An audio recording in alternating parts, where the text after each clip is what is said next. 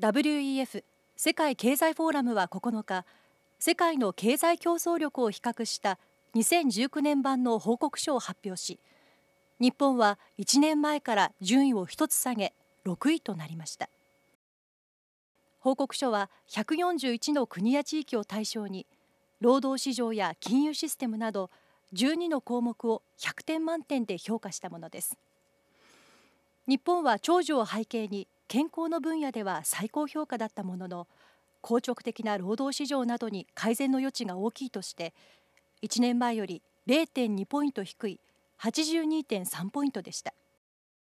首位はシンガポールの84.8ポイント。2位にアメリカ3位に香港が続きました。